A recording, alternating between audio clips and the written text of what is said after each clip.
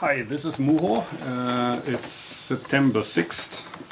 Yesterday our five-day session ended and in one month, on October 8th, we will have a great ceremony for Sawaki Roshi, Uchiyama Roshi and my teacher, Miyaura Roshi. We commemorate, co commemorate uh, the 50th anniversary, anniversary of Sawaki Roshi's passing away. Uh, that was in December 1965. So it's only 49 years since Sawaki Roshi died, but in Japan you count uh, the year of the passing away. So in Japan this year would be the 50th uh, anniversary. And following the same logic, uh, it's the 17th uh, anniversary for Uchiyama, who passed away in 1998. And my teacher passed away 12 years ago, but we celebrate the 13th uh, anniversary.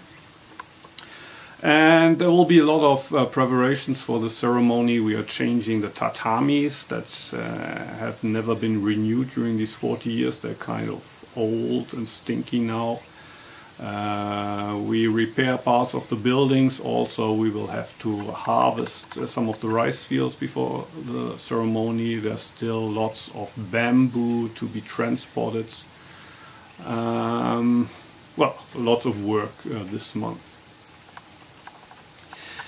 Uh, today I want to talk about a mail that I received during session uh, from uh, Brian Victoria who wrote a famous book about uh, Zen and war about almost 20 years I think 20 years ago and about seven years ago I had an exchange uh, with Brian and you can also find that in the archives of the Antaiji homepage I will put a link uh, below this video so you can find it.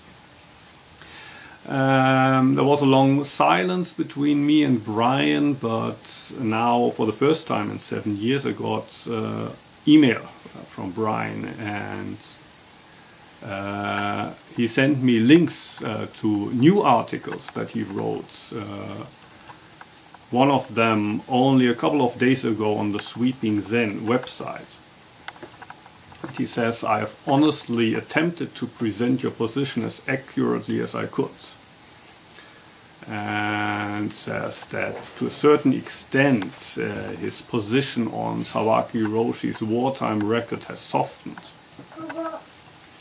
Also then continues and writes, It remains my earnest hope, Musho, Muho Osho, that you and I may yet be reconciled with each other.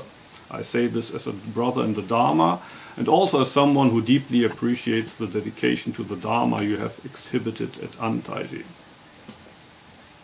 Still further, I think that both of us agree the, that the present state of Soto Zen in Japan and elsewhere leaves very much to be desired.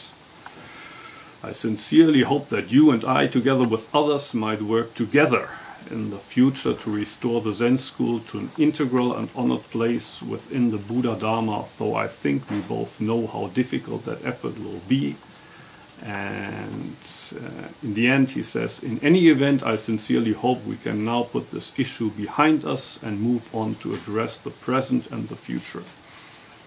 And I have to say that I really appreciate Brian's words. Mm. I was happy to get this mail.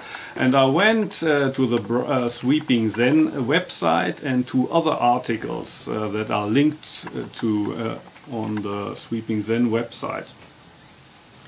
And although Brian writes here that he hopes to put uh, the whole issue behind us, um, it seems that basically we're still stuck where we ended seven years ago. Um, I do not agree with his uh, way of translating Sawaki and presenting him. But then um, I also have to say that I completely agree with Brian in that I do not think that what Sawaki Roshi said during the war was right. I completely agree with him that uh, Sawaki was wrong when, for example, he said that the precept uh, to not kill is throwing the bomb. That's one of the famous uh, quotes. that uh, Brian makes. Read in context of the whole article, and I'm surprised that from the articles um, that Brian writes, it seems that he, he didn't even know the article as a whole when he included this famous uh, quote in his book. I'm surprised to learn that. Um, as a learned scholar, Brian didn't wasn't aware of the article as a whole. Read as a whole, uh, Sawaki appears in a completely different uh, light. Uh, he never acts against the war. Sawaki certainly was not a pacifist, but he speaks out in what I think is a quite courageous way against the way the war was fought during the Second World War. And he kind of calls out and says that uh, the Japanese were not keeping to the rules. Um, but anyway, uh, putting that aside, I agree with Brian that Sawaki is wrong.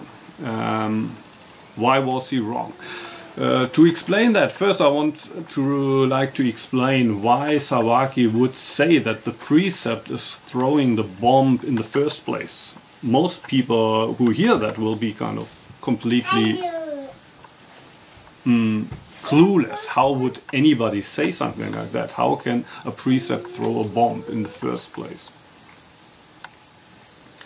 Um, in Zen, there's uh, expression called Zen Zenkai Ichinyo. Zen and the precepts are one. There's no difference between Zen and the precepts. Um, and to take that further, um, there's actually there's not 10 precepts or 248, but there's only one precept. And what is this one precept? It's the universe itself. Um, the universe itself is the precept. Reality itself is the precept. Um, to explain that, I might want to quote from a writing by Dogen Zenji. Uh, Shoji, the chapter Shoji from the Shobogenzo. It can be translated as life and death. And in this chapter, Dogen Zenji says, This life and death is the life of the Buddha. Um, living and dying as we experience it now are both the same activity. And Dogen Zenji calls this uh, the life of Buddha. You could also call it a universal force. There's only one universal force, and we are also living, we are all living the same universal force. If we live or if we die, and we're both living and dying in this one moment. Uh, these are two sides of the same coin, and the coin is the life of the Buddha. In the case of Sawaki, he would say that the precept is this one coin. Life and death at this one moment is both expression of the precept.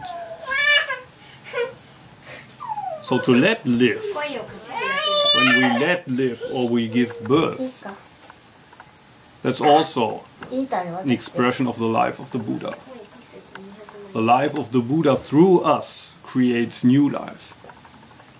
And then in extension of that, you could also say that dying, when we die, it's not that there's less life in the universe, but actually there's the life of the Buddha returning to the source.